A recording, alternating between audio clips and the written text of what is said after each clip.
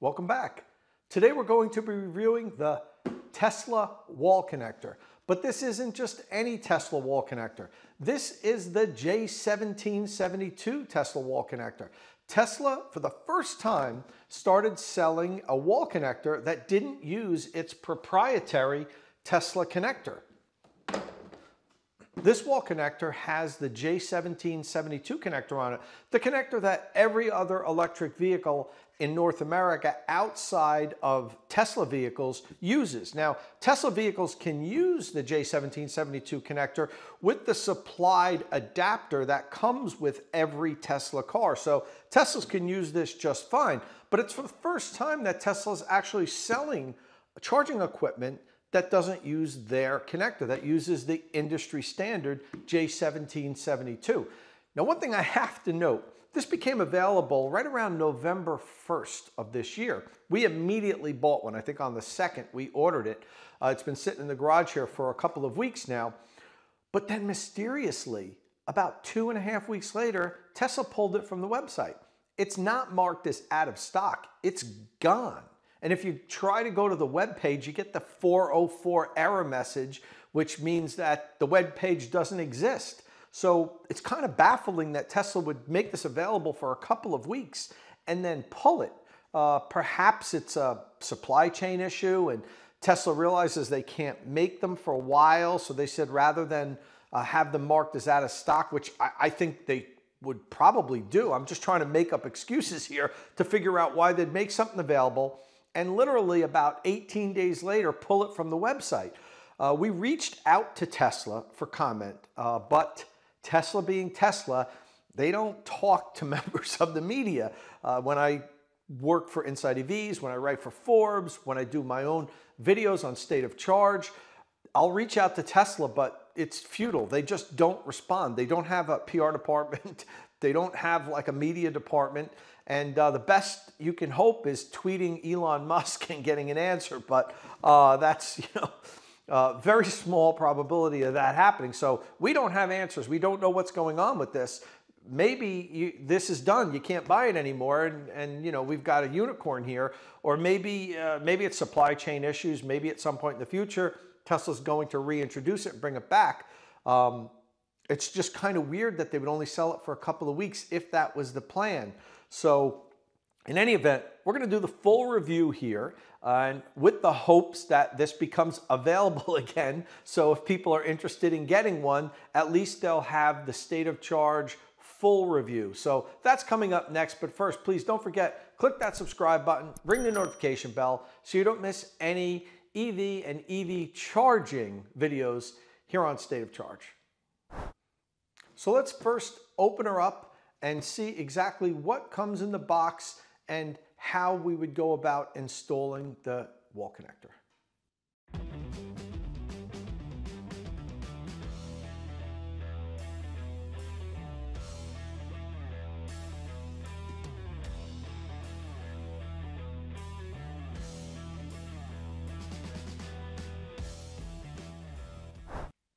All right, she's all unboxed. Let's take a look what comes in the box. We have the main unit, which you see here. It's all assembled in one piece. Sometimes when we get uh, charging stations, the faceplate is off and uh, you've got to kind of assemble it. This is all completely connected. Um, we have the J1772 connector here. Seems like it's a nice connector. I like this. As you can see, if you've seen some of my other videos, I'm a bit of a connector geek. Uh, this is what you touch all the time when you charge your car. So I like it to feel like it's quality, and this does. This is a good connector. One of the better connectors that I've had here. It's a nice rubberized feel. It's got a good push button on the top. I like it. And same with the uh, Tesla wall connector with their proprietary uh, connector. It has a side mounting uh, connector holster. I, it works. Um, I prefer front mounting holsters. It's, it's uh, really not a big deal, but if you want to nitpick, if you're in a really tight location, sometimes people install these in between their two garage doors. There's not a lot of room in there, and it's hard to holster this without hitting your hand on, say, like the, the, the track for your garage door opener. When you go straight in, seems like it's a better design, to me at least. Again, nitpicking, but um, it is the same as the other connector. It has the side mounted connector holster. It comes with a 24 foot cable. Uh, we'll be doing the cable deep freeze test on this like we do on all our charging stations. You may recall if you watched my uh, Gen 3 Tesla wall connector video, uh, I was very critical of Tesla because they eliminated the 24 foot cable that they had available on the Gen 2 uh, wall connector. When they came out with the Gen 3, the longest you could get was 18 feet. And to me, that just is inadequate. Um, I believe uh, cables should have options of at least 20 feet for home charging stations to reach different corners of your garage. Uh, and uh, so that was one of the things that I was most critical of when I did my review of that unit. Uh, Tesla listened because about six months after we did that review, and I'm not saying they specifically listened to me, but uh, they listened to their customers, which is good. They then uh, added a 24 foot cable to the wall connector. So um, good on you, Tesla. That was one of my biggest uh, knocks on you when you made the when you when this first unit first came out. So now this unit comes standard with the 24 foot cable, as it should. All right, let's take a look what else is in the box here. So we have this mounting bracket here, uh, which we're gonna show you how you mount the unit next. This would go on the wall and then this would hang on it. But wait a minute, what's this? It looks like it's the body of the, uh, the charging station itself. This is an additional mounting bracket. Now, why would you use this? Um, Tesla says that you would use this if you need a, um, a top loading uh, uh, if your supply, your electrical supply is going to come in from the top of the unit, you can't bring the conduit in from the top of this unit. You can only come in from the back or the bottom as I'm coming in with the Gen 3 unit. If your conduit comes in from above, you need to use this extra mounting plate. You would uh, mount this on the wall, then you would attach this to the back of the unit. So it would stick off the wall, geez, another uh, inch and three quarters or so, but um, you only really need this, I believe, if you have a top, uh, if your, your, your electric supply is coming from the top. Okay, and then we have a, uh, the mounting hardware. You've got some screws in here and, and some bolts, and also the two different size Torx uh, bits. So they give you the, uh, the, the Torx bits because that's what the screws use. It's, it's not a regular screw, it's a Torx screw. So you have that. And then here's some, uh, some plugs uh, some for the knockouts on the unit so you can plug them up and uh, the unit will be waterproof. And also the uh, owner's and installation manual and it's in like six different languages or something. It's really thick. And that, that's, that's interesting because most charging stations, most electronic equipment now don't, don't supply you with a, a printed user's manual. It's usually all online. So it's interesting that Tesla printed this thing up. So we're talking about the um, weatherproofing of this when I talked about these uh, knockout plugs. The unit is NEMA 3R rated, which is good for indoor and outdoor installations. However, it could be a little better. It could be NEMA 4 rated. We talk about this when we review the charging stations. The NEMA 4 rating protects charging stations against blowing uh, rain and snow. So if you live in a severe climate area, if you live in one of the northern states, you get blowing snow. If you live in an area where you get frequent driving rainstorms, you might want to consider a NEMA 4 rated uh, charging station if you're mounting it outside. If you're putting it inside your garage, really doesn't matter. If you live in San Diego, it really doesn't matter either. But if you live in an area that gets harsh weather, we tend to lean towards recommending NEMA 4 rated charging stations. And this is only a NEMA 3 rating. So with this, we wouldn't do our uh, dunk test where we sometimes dunk these in buckets of water or we take a garden hose and really spray the, the body of the unit, really um, try to get water inside the unit. We only do that with the NEMA 4 rated enclosures because this is basically saying it can't withstand that. So I'm not gonna put it through a test that it's not designed to withstand. It doesn't mean that it's not okay for outdoor use. It is okay for outdoor use. It's just probably not best suited for outdoor use in areas that get extreme weather events. All right, so we have the mounting bracket mounted to the wall. Now at this point, you would have already pulled your wires through the wall if you were doing a rear entrance for the wiring. If you're going to be coming from below, you could mount the unit and then run the conduit and connect it that way. Now, if you were going to be using the additional mounting plate because you were coming, uh, your conduit's going to be coming from the top, you wouldn't use this plate. Uh, this replaces it. As you can see, there are these four tabs which mimic the tabs on this mounting plate. So you don't use this if you're gonna use this additional mounting plate. We're not using it today. We're actually not going to be wiring the wall connector. We, we don't need it here right now. And in any event, we really don't hardwire charging stations here. We just did the Tesla wall connector. We do our reviews with plug-in units. And speaking of which, the, the Tesla wall connector uh, isn't available on a plug-in unit. Uh, and it's a little interesting because Tesla did sell the Gen 2 wall connector for a little while with a NEMA 1450 plug. Now you could add a NEMA 1450 plug onto this if you didn't want to hardwire it. You could simply, uh, where you would bring the wires in to hardwire it from below, you could add a pigtail with the NEMA 1450 and plug it into the wall. Uh, that's probably what I would do if I was going to be really installing this to use it right now.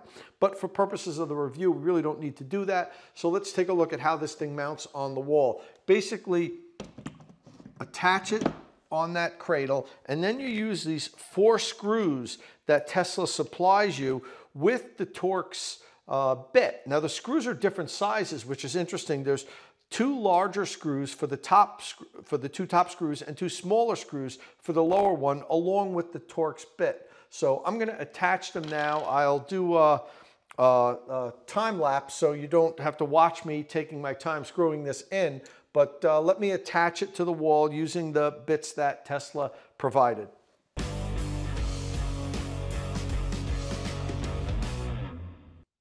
All right, she's mounted to the wall. The cable then drapes around the unit just as it does with the uh, Tesla wall connector with their proprietary connector. Let me straighten this out. Now you want to loop the cable around the unit in a counterclockwise uh, position. Well, why do you want that? So that way this thing comes around and snaps in, the connector snaps in. If you do it the other way, it's kind of awkward when you go to attach the connector to the connector holster. So here it is, as you can see, it's slightly bigger than the Gen 3 wall connector and it comes off the wall more even with the uh, slim wall attachment unit. If we were going to use this, it was to, it would come out even further. You know, still probably average size for charging stations. There certainly are smaller, sleeker charging stations on the market today, like the Wallbox Pulsar Plus, for instance. It's tiny and it's powerful. It's one of our top rated uh, charging stations here on uh, State of Charge. So let's uh, talk about the features of the Tesla wall connector. It's a 40 amp charging station and it also has a power adjustability and it's unique in that Tesla allows you to adjust the power in 4 amp increments from 12 amps all the way up to 40 amps. Some of the charging stations that have adjustable power give you like three settings like 16 amps, 32 amps and 40 amps and that's it. But Tesla allows you to adjust it with a wheel inside the unit every four amps. So you could really maximize the power that your circuit can provide. I think that's a pretty cool feature. You can also power share with this unit between four different units. if you can buy them, I, you would have had to bought them already if Tesla truly is discontinuing this. Uh, but this can power share between four like units. I say like units because you can only power share between four of these units. Unfortunately, and this is a terrible flaw in my opinion, I can't power share this with my Gen 3 Tesla connector. I think that's terrible. I think it would be a great use if you could power share with the Gen 3. That way, a household that has a Tesla and an EV from another brand could get the Tesla wall connector and this J1772 Tesla wall connector and have them power share off of one circuit. The way it is now, that's not possible. You can't power share between these two units and I think that's a shame. Other differences are the Gen 3 wall connector is a Wi-Fi connected smart charger. Now Tesla hasn't really enabled the Wi-Fi smart charging features yet, which is crazy because it's been available almost two years now and they promised a bunch of features, but we're we're still waiting on them. Uh, this is not a Wi-Fi connected smart charger. It's a quote unquote dumb charger. It just plugs in and charges the car. It doesn't have any smart charging features or capability. And that's probably part of the reason why these things can't communicate with each other. I just think it's a shame that we can't power share on the two Tesla products. But other than that, it's good that they can communicate with each other at least. Between four units, you can share one circuit uh, if you have multiple EVs or if you're, as I said, like a condo complex or a multifamily apartment building, you can power share between these so you don't have to run individual circuits for each one and the units will intelligently split the power between the different vehicles and not overload your circuit. If you want to open up the unit, you have to first remove a single screw at the center of the bottom of the unit. Once you do that, you have to snap off the front faceplate cover to reveal the main body of the unit. There are then six more screws that you have to remove in order to open up the inside of the unit. I'll do some time lapse here so it doesn't seem like it took me 10 minutes to remove only six screws. When you open it up, you'll notice that the front plate should be connected to the unit with that ribbon connector. You've got to plug that in yourself. It doesn't come connected, so be sure to do that before you power up the unit. It's time for our cable deep freeze test. We do this with all of the charging stations. I put them in a freezer overnight for somewhere between 12 and 14 hours. This guy's been in here for about 14 hours. And we test to see how pliable the cable is once it's been frozen overnight. We do this for people that live in the northern states. It really doesn't apply too much to people in the southern states. But if you have a charging station, particularly if you mount it outside, a lot of people have to charge outside. They don't have a garage or a place to charge their car inside. If you mount your charging station outdoors and you live in the northern states, it's going to get really cold overnight. Now, what happens is some of the cables that don't perform well freeze up and they become like frozen garden hoses. Really difficult to maneuver, and it makes plugging in and unplugging on a daily basis really cumbersome. So some of the charging stations have really good rubberized cables, and those are the ones that we recommend for northern climate customers. So we put the charging stations in this deep freeze freezer. It's, it's below zero. We're gonna test the temperature right now. And then we see how bendable the cable is. And that really helps our friends in the northern states decide which charging station they wanna get if they're gonna mount it outside. So let's take a look at how cold it is in there right now. Negative 12 degrees. So that's Fahrenheit. So yeah, it's pretty cold in there. Let's take a look and see how the cable performs.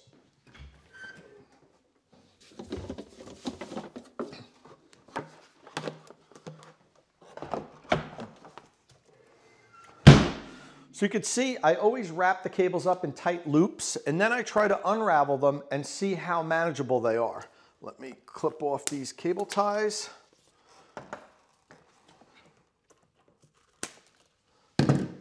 All right, now I'll unravel it.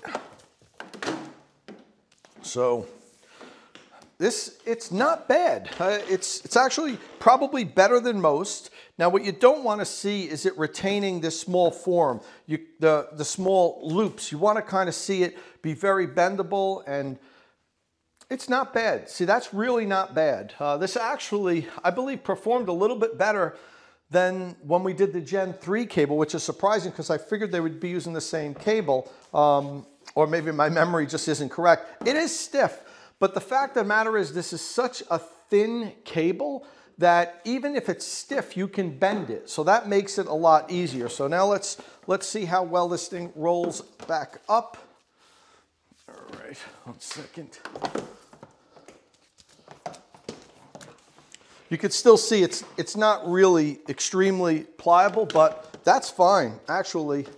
Um, not bad. Now it's, it's not going to get any extra points, but it's not gonna lose points because um, it's really not a bad functioning cable. I'm actually surprised it did a little bit better than what I expected for our cable deep freeze test. So we said earlier that the J1772 wall connector is a 40 amp home charging station. What does that translate to in miles per hour? So at 40 amps, it can deliver up to 9.6 kilowatts to the car. That should be good for somewhere between 25 and 45 miles of range per hour, depending on how efficient your vehicle is. Some electric vehicles can go further on every kilowatt hour. It all depends on how efficient the vehicle is. The wall connector costs $417. Well, at least when you could buy one, it was $417. And that was with shipping included. So it's actually a really good value for a 40 amp safety certified unit that's built well and has a nice long 24 foot cable. Now, as far as safety certified goes, there are a lot of charging equipment out there these days that are not safety certified. They're low cost budget chargers that you can get on, say, Amazon. And I can't tell you how many of my followers email me and say, you know, I got this XYZ brand and I thought it was great for the first nine months, 10 months. It charged fantastically, but then the plug melted or the unit overheated and, and just stopped working. I urge my followers to please get safety certified equipment. Buy your home charging equipment from uh, established brands, companies that you know uh, are there, been there for a while, gonna be there, like a Tesla and some of the other brands that, that I've uh, reviewed here on the, this, this channel. Some of these no-name brands have terrible warranties. Uh, some of them are as little as six months and just don't buy electric vehicle charging equipment if it doesn't have a good warranty. Now, getting to the warranty, the interesting thing about this unit is I cannot find warranty information. It's not in the manual that they sent me. And since Tesla removed this from the website, I can't find the warranty information. Now for my ratings, I'm gonna go on the fact that it has a four-year warranty and that's because Tesla's charging equipment generally has four-year warranties. The wall connector that I have next to it here has a four-year warranty. So I'd imagine Tesla is gonna be pretty consistent with their warranties. If I find out different, I will amend this review and the score, but we're gonna go on the basis of the fact that it has a four-year warranty. And speaking of which, it's time for our rating. For that, we go to the Charger Rater. The Charger Rater is a point-based system that has five different categories, cost and value, power and weatherproofing, construction and durability, smart, non-smart, and safety certified and warranty.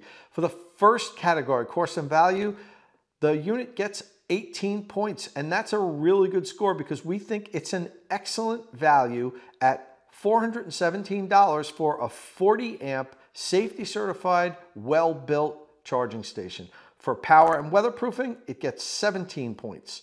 Next up is construction and durability, and the J1772 wall connector scores 17 points in this category. For the smart, non-smart category, it gets 16 points. And for safety certified warranty, it gets a good 18 point total. Now that's including three points for a four year warranty, which I assume it has.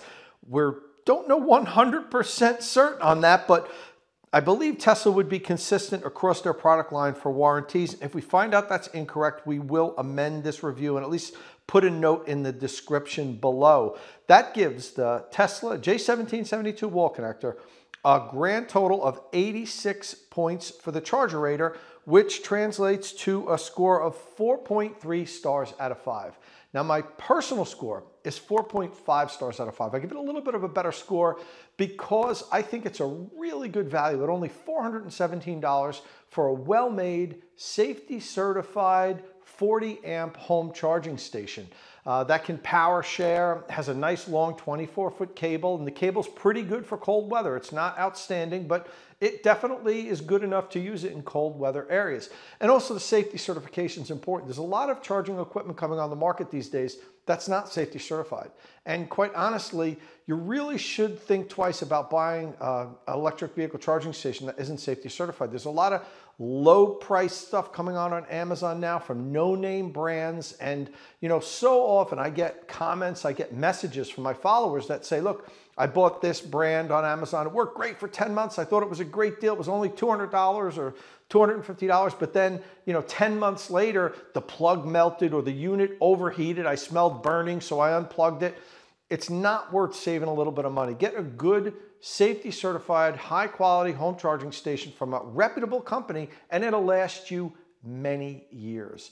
So Well, that's it for the review. The only question now is, is Tesla going to bring this thing back? Uh, hopefully they do because I think it's a good product and I think it's something that people would be interested in if they're looking for a 40 amp J1772 home charging station. I definitely think it's a good value at that price. So let's see. I'm going to keep on top of this and I will put notes in our description of this video when I find out for sure if they're bringing it back or not. Hopefully Tesla will eventually respond to me. I'm not holding my breath, but let's see. I'll continue to send them emails and maybe I'll get a response at some point. So, well, that's it. Thanks for watching. Please don't forget, click that subscribe button, ring the notification bell, give us a thumbs up, like on this video so you don't miss any upcoming content here on State of Charge. And as always, thanks for watching.